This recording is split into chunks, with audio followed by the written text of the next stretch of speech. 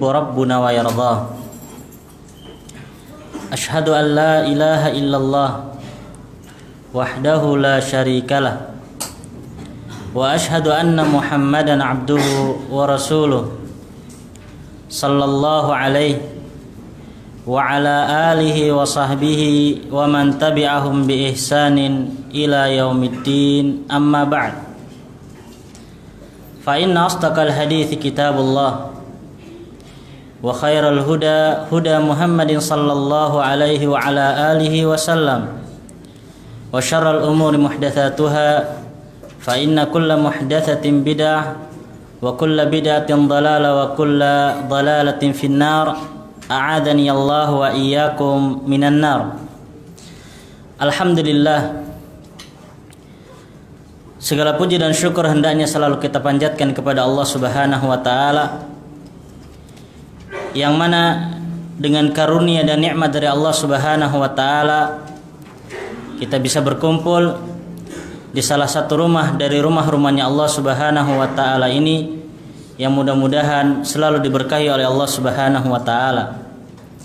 Dan kita juga memohon kepada Allah Subhanahu wa taala semoga Allah Subhanahu wa taala memasukkan kita di dalam hadisnya man salaka tariqan yaltamisu fihi ilman sahhalallahu lahu bihi tariqan ilal jannah barang siapa yang menempuh suatu perjalanan tidak lain tujuannya adalah untuk mempelajari agamanya Allah Subhanahu wa taala maka Allah Subhanahu wa taala akan mudahkan bagi dia jalan untuk menuju surganya Allah Subhanahu wa taala Para jamaah sekalian yang mudah-mudahan dirahmati oleh Allah Subhanahu wa taala. Pada malam hari ini kita akan membahas suatu pembahasan dengan tema sebab-sebab malas di dalam beribadah. Sebagaimana yang kita ketahui bersama bahwasannya manusia diciptakan oleh Allah Subhanahu wa taala tidak lain tujuannya adalah untuk beribadah kepada Allah Subhanahu wa taala. Sebagaimana Allah Subhanahu wa taala tegaskan di dalam Al-Qur'an di dalam surat Az-Zariyat Allah katakan wa ma khalaqtul jinna wal insa illa liya'budun. Dan tidaklah aku menciptakan jin dan manusia melainkan agar mereka beribadah kepada kepadaku. Akan tetapi terkadang seorang hamba di dalam menjalankan ketaatan kepada Allah Subhanahu wa taala di dalam beribadah kepada Allah Subhanahu wa taala terkadang seorang hamba terjangkiti dengan penyakit malas di dalam beribadah beribadah maka oleh karena itu hendaknya kita mengetahui sebab-sebab yang menyebabkan seseorang hamba malas di dalam beribadah. Tujuannya tidak lain adalah agar kita bisa menghindari sebab-sebab tersebut. Bisa menjauhi sebab-sebab tersebut dan bisa menjadi seorang hamba yang giat dan semangat untuk beribadah kepada Allah Subhanahu wa taala. Sebagaimana perkataan seorang penyair, "Araftu syarra la li syarri, walakin litawaqtihi." Aku mengetahui kejelekan bukan untuk melakukan kejelekan tersebut. Akan tapi aku mengetahui kejelekan tujuannya adalah agar aku bisa menghindari kejelekan-kejelekan terse tersebut. Para jamaah sekalian yang mudah-mudahan dirahmati oleh Allah Subhanahu wa taala. Kalau kita lihat kepada kutub-kutub para ulama, kitab-kitab para ulama atau penjelasan-penjelasan para ulama maka di sana kita akan mendapatkan bahwasannya seseorang hamba tatkala dia malas di dalam beribadah kepada Allah Subhanahu wa taala laha asbab. Ia memiliki sebab-sebab. Ia memiliki sebab-sebab. Ya dan di antara sebab yang disebutkan oleh para ulama yang pertama sebab seseorang hamba malas di dalam beribadah kepada Allah dan ini termasuk perkara yang penting yang harus diingat oleh seorang hamba. Sebab yang pertama yang menyebabkan seseorang hamba malas dalam beribadah kepada Allah Subhanahu wa taala adalah adz-dzunubu wal ma'asi. adzunub perbuatan dosa wal ma'asi dan perbuatan maksiat yang dilakukan oleh seorang hamba. Sadar maupun tidak sadar, dosa yang dilakukan oleh seorang hamba atau kemaksiatan yang dilakukan oleh seorang hamba membuat hamba tersebut malas di dalam beribadah. Dan ini termasuk musibah yang besar yang menimpa seorang muslim. Ya menimpa seorang muslim musibah yang besar yang menimpa seorang muslim di antaranya adalah ini. Ya berbuat dosa dan berbuat maksiat kepada Allah Subhanahu wa taala. Maka dalam Al-Qur'an Allah mengatakan wa ma asabakum min musibatin fabima kasabat aidikum dan tidaklah menimpa kepada kalian suatu musibah ya melainkan itu dikarenakan apa? perbuatan ulah dari tangan-tangan kali kalian, perbuatan kalian. Jadi seseorang hamba tatkala dia tidak mau atau malas dalam beribadah kepada Allah ini musibah. Dan sebabnya tidak lain adalah dikarenakan perbuatan dia sendiri.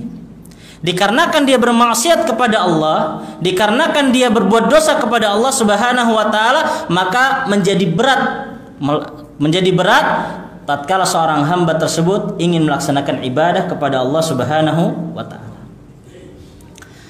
Mari kita lihat kisah seorang imam yang ma'ruf. Imam Sufyan Ats-Tsauri. Pernah diceritakan tentang beliau, beliau mengatakan Hurrimtu qiyamal lail. Hurrimtu qiyamal lail aku diharamkan dari melaksanakan salat malam. Khamsata ashhurin selama lima bulan. Maknanya hurim itu maksudnya berat sekali untuk melaksanakan salatul lail. Ya, berat sekali untuk melaksanakan salatul lail, salat malam. Kata beliau lima bulan. Lidhan bin tuhu dikarenakan satu dosa yang aku kerja kerjakan yang aku terjatuh di dalamnya. Mari kita renungkan kembali. Imam Sufyan ini imam, alim minal ulama. Sufyan ats-Tsauri mengatakan seperti ini. Ya, aku berat untuk melaksanakan salatul lail. Ya, selama lima bulan. Ya, selama lima bulan cuman dikarenakan apa? Satu dosa. Ya, cuma dikarenakan satu dosa. Maka para sahabat-sahabatnya, para murid-muridnya bertanya kepada Sufyan ats-Tsauri, "Apakah dosa tersebut, wahai imam?" Maka dijelaskan oleh Imam Sufyan ats-Tsauri, dosa tersebut adalah aku pernah melihat seseorang dia menangis. Maka aku katakan di dalam hati, orang ini ria. Orang ini ria. Kalau kita gimana jemaah? Ya, kita lihat orang masya Allah, seorang ini masya Allah gayanya atau yang semisal Semisalnya. Ini cuma dikarenakan perbuatan tersebut, ya, perkataan tersebut, ya, lima bulan berat untuk melaksanakan sholat al-lail. Lalu bagaimana dengan keadaan kita ini?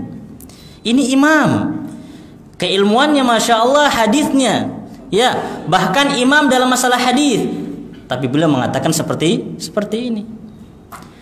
Maka kita yang jauh dari ilmu atau sedikit dalam sisi keilmuan, maka benar-benar hendaknya kita berhati-hati dari perbuatan dosa dan kemaksiatan kepada Allah Subhanahu wa taala.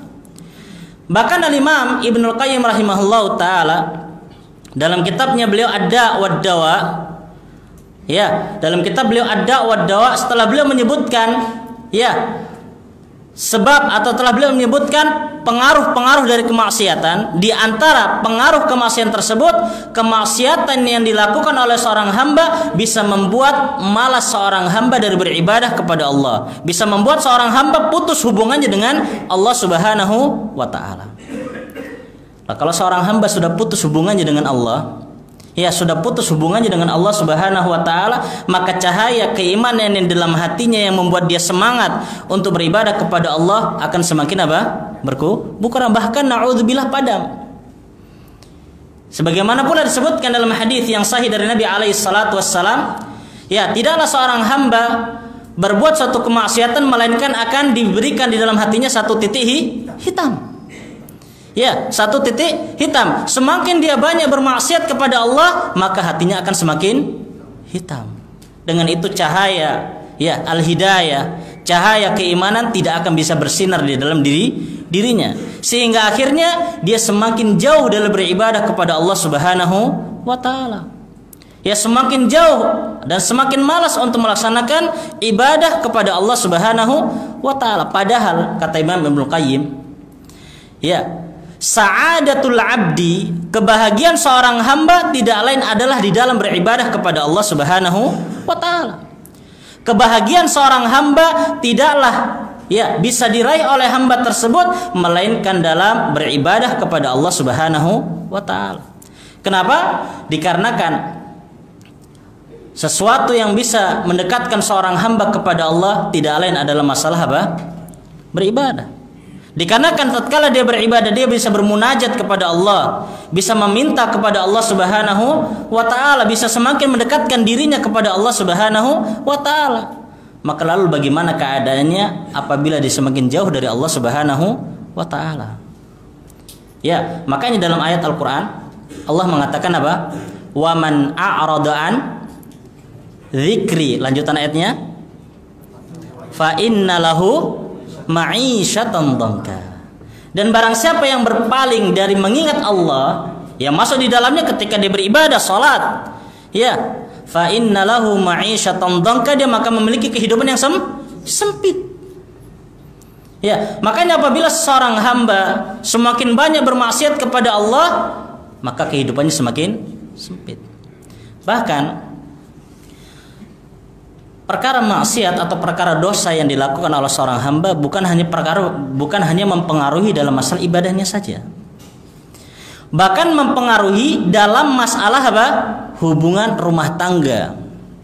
Ya, dalam masalah duniawiyah juga bisa mempengaruhi. Sebagaimana dikatakan oleh salah seorang salafun saleh, ma dzanban Tidaklah aku melakukan suatu dosa melainkan aku lihat pengaruhnya pada akhlak keluargaku dan kendaraan kendaraanku. Ya, keluarganya susah dibilangi, susah dinasehati, tidak lain adalah sebabnya apa? Dosa. Ya, dosanya seorang ham, hamba, anaknya nakal. Jangan dulu anaknya salahkan aja. Dilihat juga apa? Orang tuanya jangan-jangan ya, orang tuanya apa? Yang berdo berdosa sehingga akhirnya apa? Pengaruhnya pada anak-anaknya iya pengaruh kepada anak-anaknya makanya hendaknya seorang hamba benar-benar apa?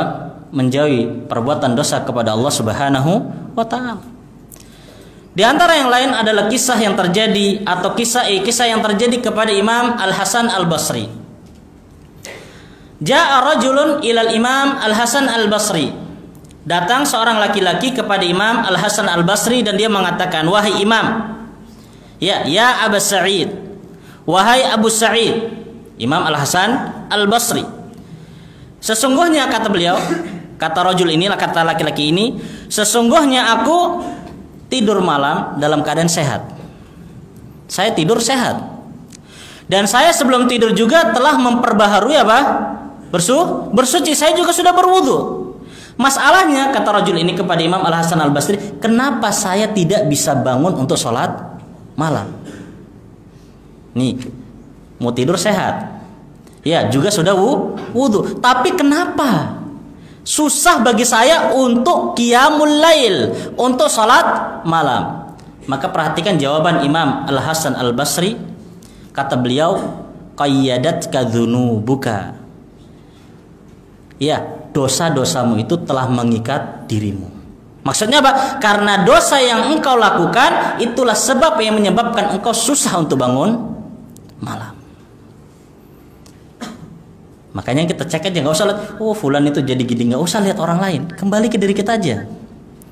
Ya, kata Imam Al Hasan Al Basri, qayyadat kadzunubuka. Dosa-dosamu itulah yang menyebabkan engkau terhalangi dari melaksanakan qiyam qiyamul lail. Salat ma salat malam. Ya. Nah, bahkan kalau kita melihat kepada asar-asar para ulama, ya asar-asar para ulama dalam masalah ini terkadang mereka mubalaghah. Ya, terkadang mereka lebih dalam menyebutkan masalah masalah ini. Di antaranya apa yang terjadi pada salah seorang imam. Ya, diceritakan bahwasannya imam tersebut disengat oleh kala jengking. Disengat oleh kala jengking. Musibah atau bukan musibah? Ya, jangan dibayangkan yang namanya musibah itu apa? Banjir. Ya, rumahnya atau mobilnya hilang. Enggak, musibah perkara kecil juga musibah. Ya, disengat oleh kala jengking. Maka diceritakan setelah disengat kala jengking imam tersebut berpikir, kenapa aku bisa terjebak? Bisa disengat kala kala jengking. Maka diingat diingat oleh beliau, ternyata kata beliau, beliau lupa untuk membaca zikir pagi dan petang. Musibah. Makanya kata Allah, "Ma asabakum min musibatin fabima kasabat aidikum." Dalam masalah duniawi, apalagi dalam masalah ukhrawiyah. Ya, dosa itu sangat berpengaruh dalam kehidupan seorang seorang hamba. Ya, sangat berpengaruh dalam kehidupan seorang hamba dosa yang dilakukan oleh seorang hamba. Terlebih lagi, ya, terlebih lagi dosa-dosa ke kecil atau dosa-dosa yang dianggap oleh seseorang dosa tersebut dosa yang re remeh. Hati-hati. Ya, jangan sampai kita meremehkan perbuatan do dosa. Dia melakukan perbuatan dosa dan mengatakan, wah ini perkara ini ya? remeh. Padahal itu perbuatan dosa.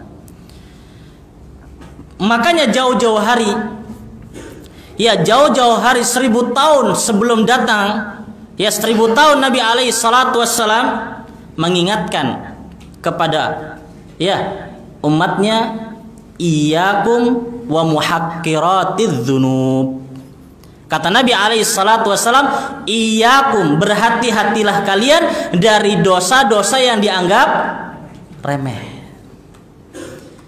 Kenapa? Dijelaskan oleh para ulama karena terkadang tatkala seseorang hamba itu menganggap remeh perbuatan dosa sehingga akhirnya dia mudah untuk apa? melakukannya. Bahkan termasuk syubhat, talbis iblis. Ya, terkadang ketika seseorang ingin melakukan dosa, nggak apa-apa lah nanti aku apa tau taubat. Ya nek taubat pas anak waktu nih Ya, ya kalau pas masih ada waktunya lah. Kalau seandainya dia tatkala dia melakukan perbuatan dosa, kemudian kadarullah Allah cabut. Ya, ajalnya. Sempat dia bertobat? Ya akan sempat dia bertobat. Ya, tidak akan sempat dia bertobat. Makanya para ulama mengatakan bahwasannya seseorang itu binasa dikarenakan dosa-dosa yang remeh. Kenapa? Yang pertama, yang menyebab atau dua ada dua perkara yang menyebab, menyebabkan seseorang itu binasa dengan dosa-dosa kecil. Yang pertama dikarenakan dia menganggap remeh. Kemudian yang kedua dikarenakan dia apa? mudah untuk mengulanginya kembali kembali karena remeh menurut dia. Sehingga akhirnya dia bergampang-gampangan dalam melakukan perbuatan ter tersebut.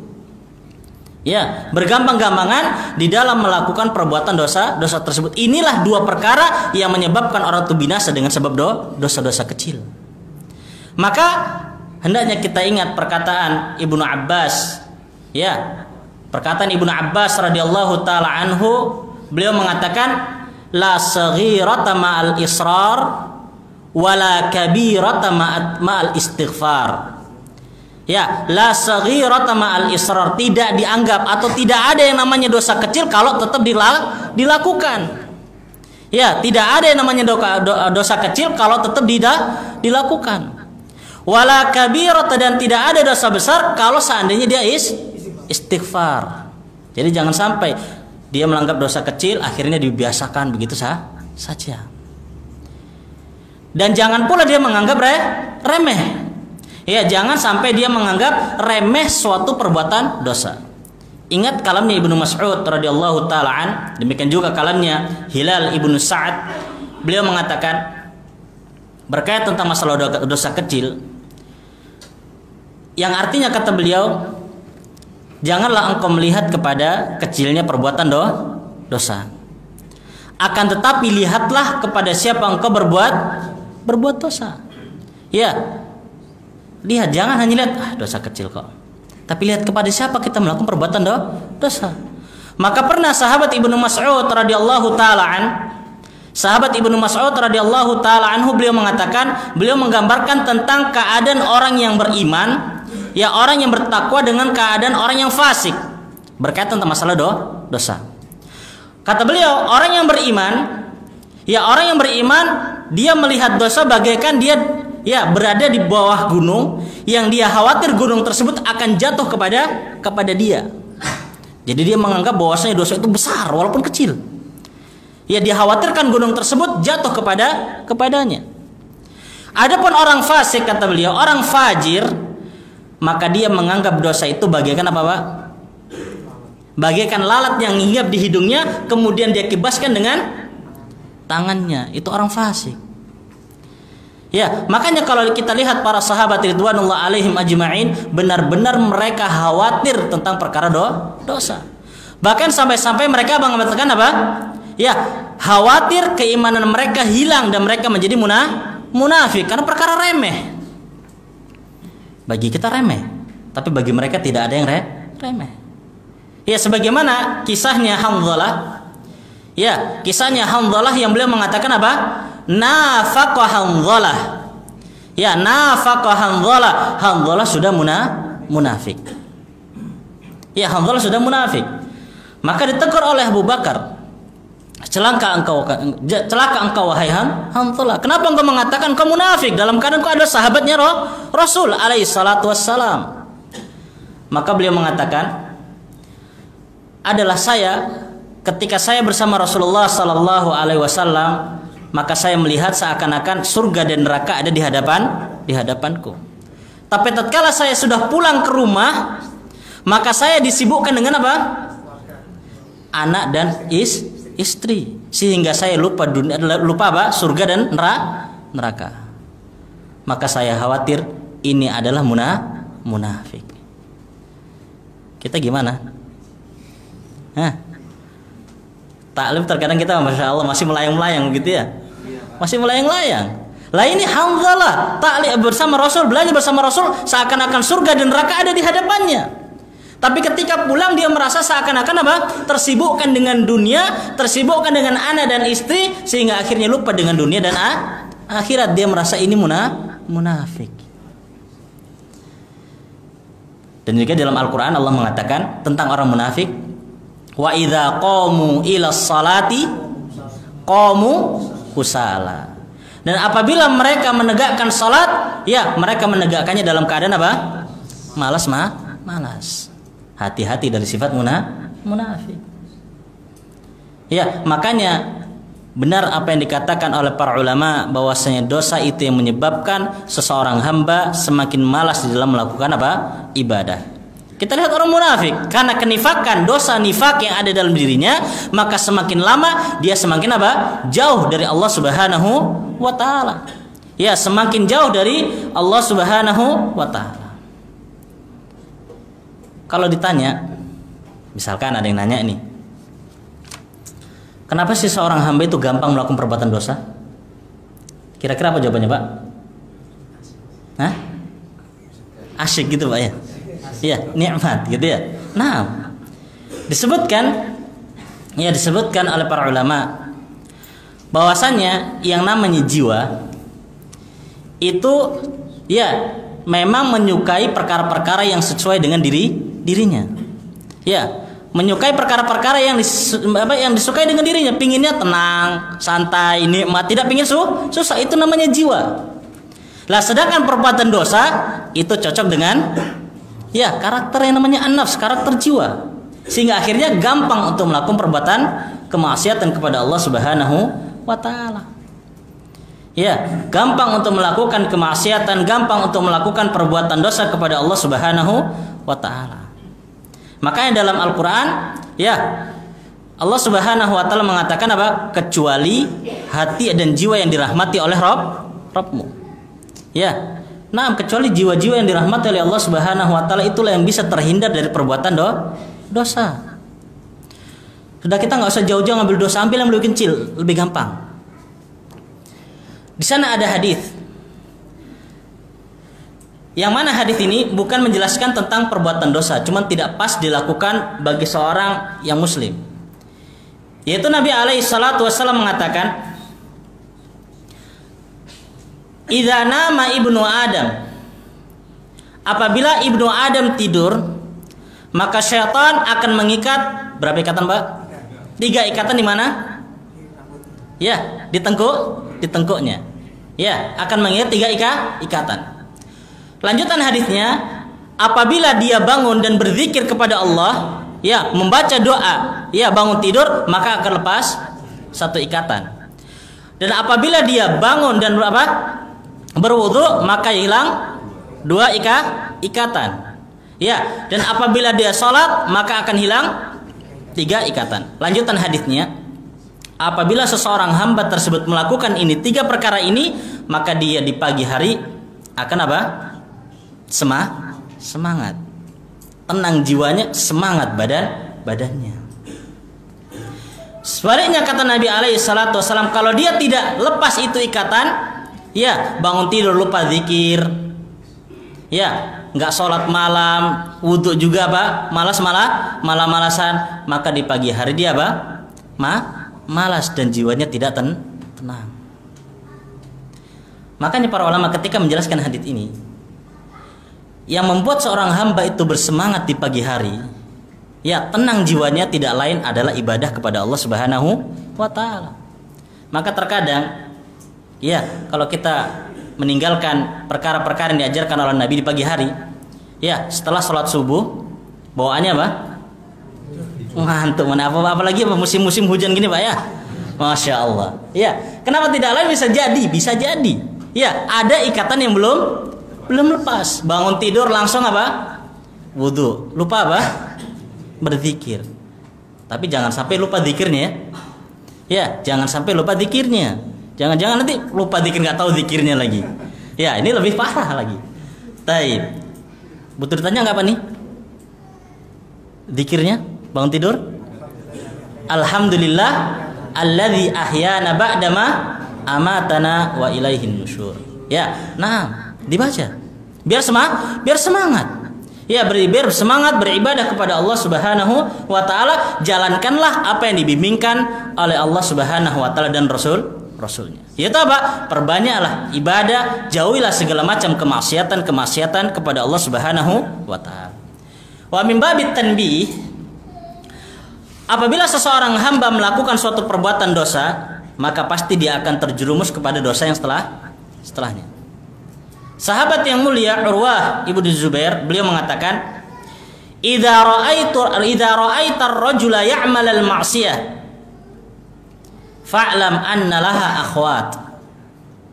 Kata beliau, apabila engkau melihat seseorang ya seseorang dia melakukan kemaksiatan Fa'lam kata kata Urwah bin Zubair, fa'lam maka ketahuilah anna laha akhwat. Anna di dalam ilmu bahasa itu bermakna taukid, penekanan. Anna bahwasanya benar laha bagi maksiat tersebut memiliki akhwat, ada akhwatnya ini. Ya, makanya semangat dia tatkala dia melakukan perbuatan dosa, maka akhwatnya akan diikuti yang lainnya ini. Ya, ada saudaranya. Ya, ada saudara saudaranya. Kita ambil contoh, kalau seorang itu tidak apa menundukkan pandangannya. Ya, kemudian dia melihat ya, akhwat atau melihat perempuan yang bukan mahramnya. Dari dari mata turun ke mana? Hah? Ayo dari mana? Turun ke hati. Ke hati dari hati ke mana? Ya, ke mata lagi. Balik lagi gitu Pak ya. Tapi setelah dari hati mulailah mulai ada perbuatan perbuat perbuatan. Ya. Apalagi zaman sekarang kan, oh masya Allah siapa namanya ya? Mulai cari buka sosmed. Siapa bulan ini? Ya siapa bulan ini? Cari terus bagaimana karakternya, bagaimana umurnya berapa? Maksiat terus, dosa. Ya, makanya jangan sampai ikhwan juga, Pak pajang apa nih? Foto. Ya. Pajang fotonya di mana di sosmednya. Ya. Takillah. ya.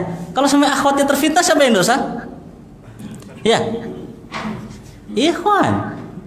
Ya, makanya ikhwan, ya, berhati-hati dari perbuatan dosa. Demikian juga akhwat. Jangan sampai mendapatkan apa? Dosa ja, jariah. Ya, jangan sampai. Makanya para jamaah sekalian yang mudah-mudahan dirahmati oleh Allah Subhanahu wa taala, Ya sepantasnya bagi seorang muslim dan selayaknya bagi seorang muslim untuk meninggalkan segala macam perbuatan do dosa. Baik itu dosa kecil maupun dosa besar, selayaknya ditinggalkan perbuatan dosa ter tersebut. Dan kalau membuat melihat ya pengaruh pengaruh dosa yang dilakukan oleh seorang hamba bisa dilihat dalam kitab Ada Wadawa miliknya Imam Ibnu Qayyim rahimahullah di sana beliau menyebutkan sebab eh, menyebutkan ya menyebutkan asar pengaruh-pengaruh dari perbuatan do, dosa. Di antaranya ya dalam kitab beliau, kitab tipis Atharudzunub wal Ma'asi beliau sebutkan beberapa asar yang menyebabkan atau beberapa pengaruh yang disebabkan dari perbuatan do, dosa. Di antaranya kisahnya iblis dikeluarkan dari surga kenapa? Maksiat atau bukan? ma maksiat. Nabi Adam alaihissalam dikeluarkan dari surga maksiat. Ya, kaum Nabi Lot dibinasakan oleh Allah kenapa? Maksiat dan banyak lagi kaum-kaum Nabi ya sebelum kita semua dibinasakan tidak lain dikarenakan ma maksiat kepada Allah Subhanahu wa taala. Ya, dan jangan pernah merasa bahwasanya apa? Yang maksiat kan fulan. Pokoknya anak enggak. Ya, tetap dinasihati ketika melihat temannya melakukan kema kemaksiatan.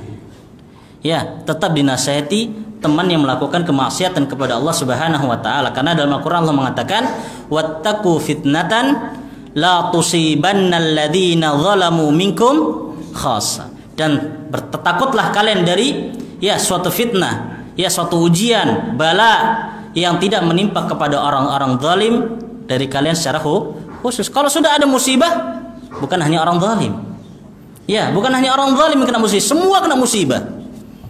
Ya, bisa kita lihat kisah atau kejadian yang baru-baru terjadi, terjadi banjir, ya menghantam semua rumah warga. Bukan hanya orang maksiat. Ya, makanya dalam hadis yang sahih Nabi alaihi salatu wasallam mengibaratkan seperti orang yang naik sebuah bahtera. Ya, orang yang bawa dek bawah dan dek atas. Orang dek bawah ketika mau minum dia harus naik dek naik atas. Lah akhirnya apa? Karena dia malas naik ke atas, dia bolongi itu dek bah, bawah supaya gampang airnya dapat kan? Kalau dibiarkan aja, ya, yang mati dia sendiri atau semua? Mati semua. Maka caranya apa? Ditahan, dinasihati. Ya, dengan semampu semampu kita. Ya, dengan semampu semampu kita. Ini sebab yang pertama yang disebutkan oleh para ulama dari sebab-sebab yang membuat seorang hamba itu malas di dalam beribadah kepada Allah Subhanahu wa taala. Sebab yang kedua yang disebutkan oleh para ulama yang membuat seorang hamba malas dalam beribadah adalah nisyan an hikmatil lati min ajliha khuliqa. Dia lupa dari hikmah ya yang dengan itu dia diciptakan. Dia lupa untuk apa sebenarnya dia diciptakan. Ini sebab yang kedua. Ya, dia lupa untuk apa sebenarnya dia diciptakan oleh Allah Subhanahu wa taala. Lah, makanya sebaliknya kalau seseorang hamba itu ya seseorang hamba itu sadar bahwasannya dia diciptakan oleh Allah Subhanahu wa taala untuk ibadah, maka dia harusnya semangat dalam beribadah, beribadah. Ya, dia bersemangat dalam beribadah, beribadah.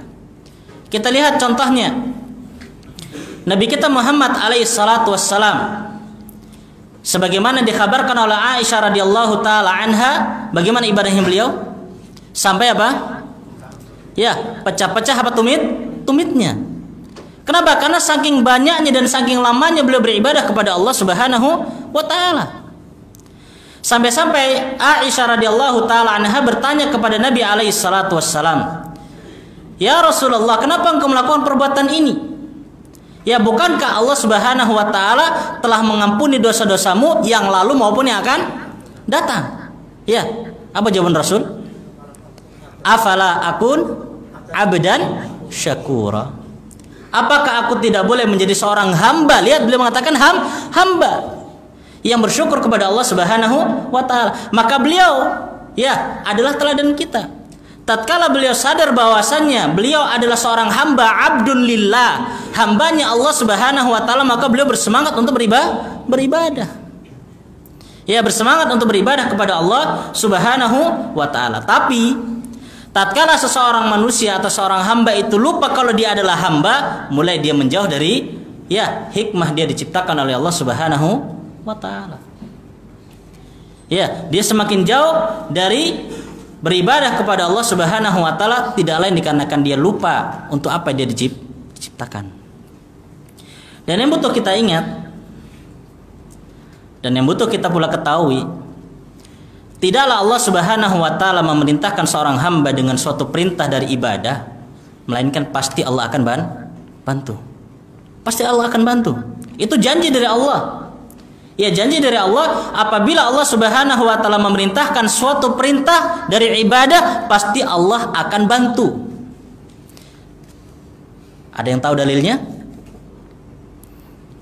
Ingat, kalau Allah perintahkan Ya, untuk beribadah pasti Allah akan bantu. Ada yang tahu dalilnya? Hmm? Insan intan surullah yang surkum. Ada yang lebih gampang lagi. Semua dari kita insya Allah hafal semua dalilnya. Gak ada yang gak hafal. Hmm? Alam nasrah halaka sadrak. Gak. Yang lebih gampang lagi. Ada nggak nih? Nanti anda sebutkan susah nanti. Iyaka? Wa iyaka? Uh hafal toh. Nah, ya. Iyyaka na'budu. Lihat ayatnya nih. Lihatnya. Iyyaka na'budu wa iyyaka nasta'in. Hanya kepadamu lah ya Allah kami beribadah dan hanya kepadamu lah ya Allah kami meminta pertolongan. Pertanyaan anak ayat iyyaka na'budu wa iyyaka nasta'in dua ayat atau satu ayat? Berapa mas? Sakin Coba yang sebelah sini berapa ayat itu? Satu atau dua? Iya karena budu. Wa iya karena stain. Satu atau dua? Satu. Disebutkan oleh para apa sih rahasianya? Kenapa jadikan satu ayat? Iya karena budu wa iya karena stain kata mereka digandengkannya dua ayat dua lafat ini, dua kalimat ini pada satu ayat rahasia tidak lain itu adalah janji dari Allah apabila seseorang hamba diperintahkan oleh Allah dengan suatu ibadah pasti Allah akan bantu itu rahasianya Sampai-sampai Imam Al-Imam Ibnu Qayyim rahimahullah taala beliau mengatakan mubalaghatan dari beliau beliau mengatakan sampai-sampai kalau seandainya Allah memerintahkan seorang hamba untuk memindahkan gunung maka pasti akan pindah itu gunung. Ya, kalau Allah perintahkan seorang hamba untuk memberi apa? memindahkan gunung pasti akan pindah itu gunung. Kenapa? Pasti Allah bantu. Ya, pasti Allah Allah bantu. Sekarang Ya, seorang hamba yang rumahnya jauh bisa datang ke masjid. Itu pertolongan Allah atau karena memang kemampuan hamba tadi? Pertolongan Allah. Kalau bukan karena pertolongan Allah, walaupun rumahnya mepet dengan masjid, nggak akan datang. Ya, ya pak ya. Nah, jadi maknanya orang itu bisa beribadah kepada Allah tidak lain adalah karena pertolongan dari Allah Subhanahu wa taala. Dan itu mana apa? La haula wala quwata illa billah. Makanya tatkala orang itu mengingat yang demikian ini, ya dia diciptakan untuk ibadah dan pasti Allah akan tolong, akan mudah bagi dia perkara ibadah. ibadah.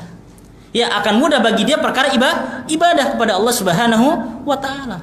Tapi tatkala dia jauh dari yang demikian ini, ya maka dia akan merasa susah dalam beribadah kepada Allah Subhanahu wa taala. Karena dalam perkara ibadah masya Allah gampang. Ya, Allah Subhanahu wa taala gampangkan dalam masalah ibadah, beribadah kepada Allah. Bahkan perkara kecil, perkara remeh juga bisa terhitung apa ibadah? Ibadah. Ya, bisa terhitung ibadah kepada Allah Subhanahu wa taala. Tergantung niatnya seorang ham, hamba. Makanya ya, perkara yang menyebabkan seseorang hamba bermalas-malasan atau tidak semangat untuk beribadah kepada Allah, yang kedua adalah apa? Lupa hikmah dia diciptakan oleh Allah Subhanahu wa taala.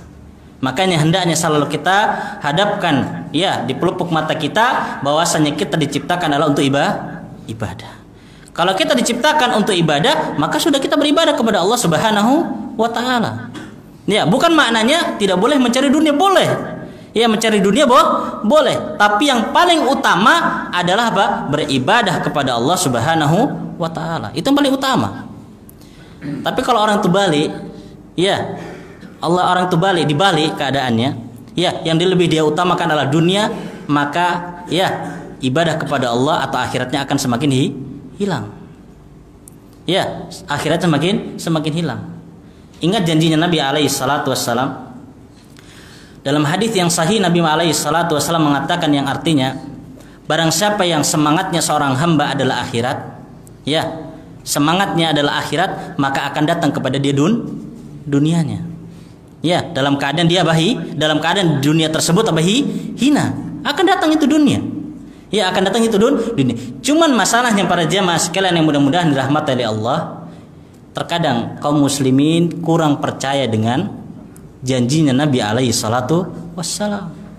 Ya, kurang percaya, kurang yakin dengan janji yang dijanjikan oleh Nabi kita Muhammad alaihi salatu wassalam.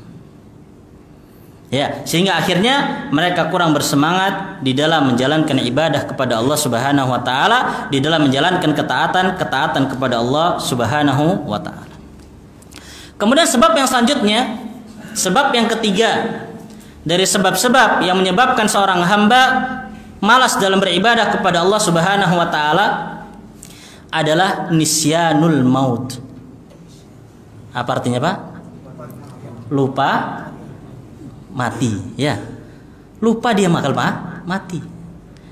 Kalau seorang hamba itu sadar bahwasanya dia bakal mati maka harusnya dia bersemangat ya. Tapi tatkala seorang hamba itu merasa seakan-akan dia hidup di dunia ini apa?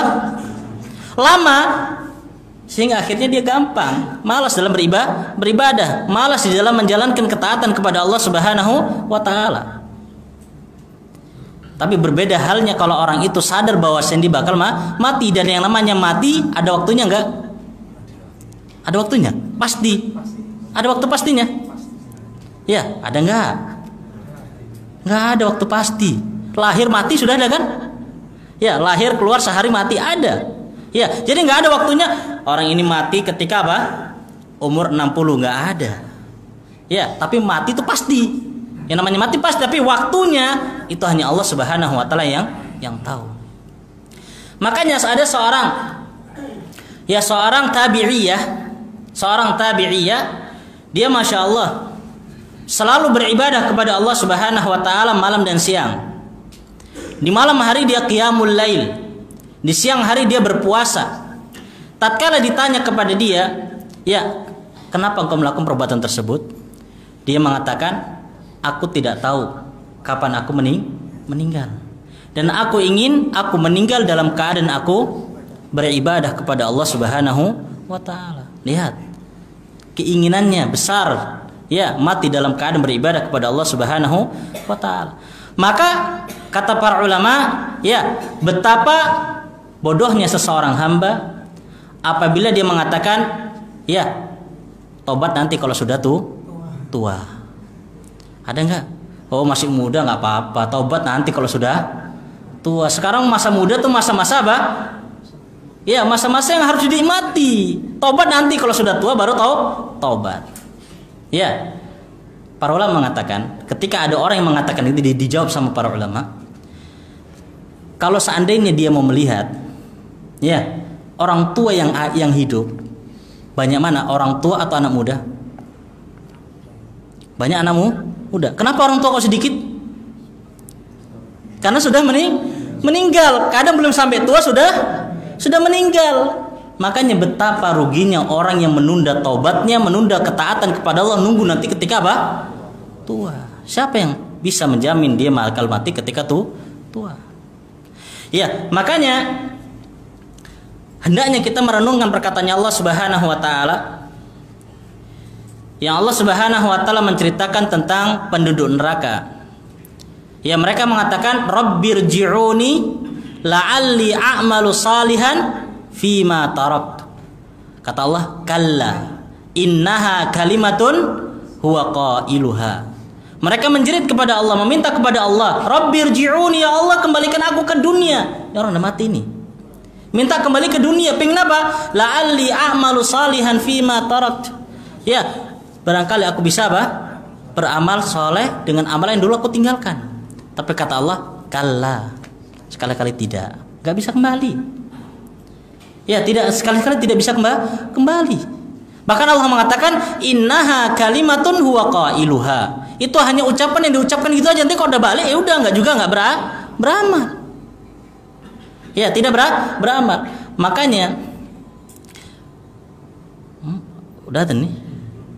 Ya, makanya tatkala seseorang hamba masih ada kesempatan untuk beramal, perbanyak. Ya, perbanyak ketaatan kepada Allah Subhanahu wa taala, perbanyak ya bekal. Karena dalam hadis yang sahih Nabi alaihi salatu wasallam mengatakan idza mata ibnu Adam in qata'a amaluhu illa min salas. Apabila ibnu Adam meninggal, maka ya terputus bagi dia amalannya kecuali dan tiga. Ya nggak bisa beramal lagi udah, mati sudah habis. Ya, kadar luasa sudah habis pak ya. Sudah tidak bisa ber beramal. Ya dan yang cukup bagi dia yang tersisa dari dia hanya di tiga. Ya sedangnya hanya di tiga. Dan di antaranya adalah amal so soleh. Amal soleh makanya seseorang hamba jangan sampai dia meninggalkan ketaatan kepada Allah dan lupa dari kema kematian wa akhiran ingat juga perkataan Allah Subhanahu wa taala Ya, perkataan Allah Subhanahu wa taala berkaitan tentang uh, apa namanya? berkaitan berkaitan dengan kematian, Allah mengatakan kullu nafsin dha'iqatul maut. Dan perkataan Imam Ad-Daqqaq beliau mengatakan man aktsara min dzikril maut. Barang siapa yang memperbanyak untuk mengingat kematian, maka dia akan dimuliakan dengan tiga perkara. Dimudahkan untuk bertaubat, ya, dan dicukupkan hatinya dan semangat dalam beribadah beribadah. Dan apabila seseorang itu lupa dari kematian, maka dia akan dihukum dengan tiga perkara. Yaitu apa? Memperlambat taubat kepada Allah, kemudian tidak pernah merasa puas dengan apa yang Allah berikan, yang ketiga malas dalam beribadah. beribadah. Ini perkataan Imam Ad-Daqqaq yang hendaknya kita renungkan di dalam kehidupan kehidupan kita dan di sana masih banyak asbab-asbab yang lain yang disebutkan oleh para ulama. Mudah-mudahan tiga sebab yang kita sebutkan pada malam hari ini bisa memberikan semangat bagi kita untuk beribadah kepada Allah Subhanahu wa taala dan mencari bekal sebanyak-banyaknya dalam kehidupan kita ini untuk di akhirat akhirat kita. Aku lu masami'tu astaghfirullah innahu huwal ghafurur rahim wa akhiru da'wana alhamdulillahi rabbil alamin. Subhanakallahumma hamdik asyhadu an la ilaha anta wa atubu assalamualaikum warahmatullahi wabarakatuh